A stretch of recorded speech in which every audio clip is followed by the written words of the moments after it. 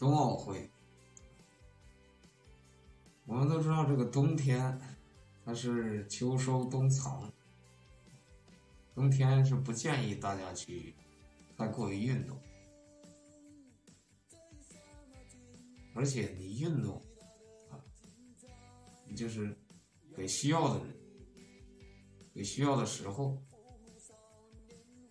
啊，这这些就是说为了运动而运动的人。他这个身体，并不是说很健康。我们看满身都是肌肉啊。中国自古也是不讲这些，全是跟西方学的。你这个东西并不代表什么啊，那是一个筋骨皮，是一个外在。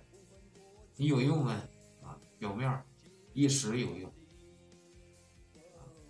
但是你身体首先不会好。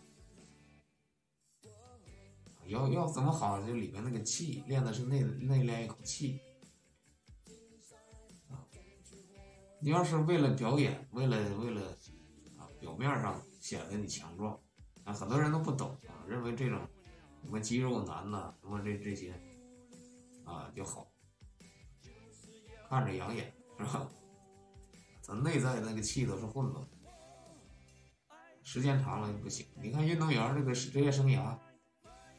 只有这个四十年，有的甚至三十年，啊，就是到三十岁就不行了。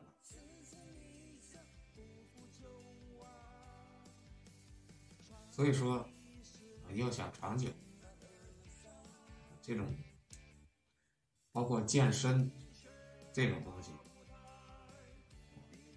健身房，我们都是不是这样练的。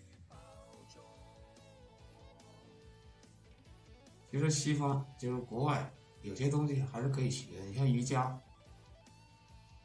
啊，他这个抻筋拔骨啊，中国人讲这个抻筋拔骨，外练筋骨皮，啊，它整体全身活动这个就比较好。你单练某一个部位，那你那个部位有问题，你可以练，也不要过于练。你看那些运动员儿，啊，就是整天从小就就练，有的个子不会太高，有的，你反正就各种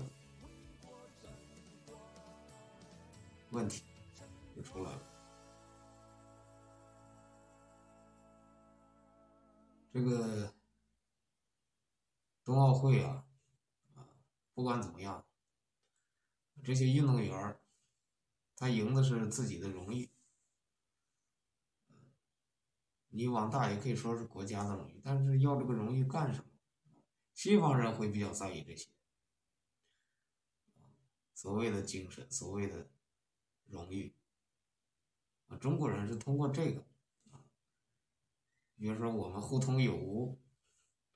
经济、贸易、文化交流，啊，乃至这一些政治啊等等，那中国人啊，他体质也不像西方人那么强，所以说没有必要去计较。你说这个啊，百米什么进进决赛了？这个自古中国就没有什么什么，你羡慕那个干嘛呀？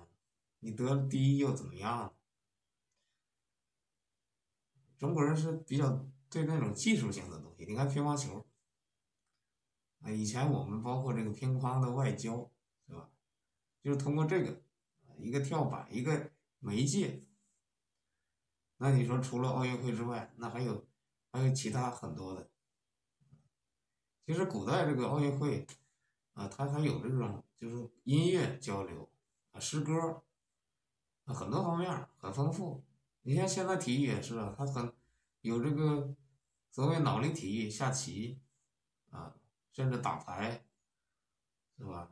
你把中华的文化上来，麻将、武术这些很好，那西方不用不会呀，他们，那你怎么办？那。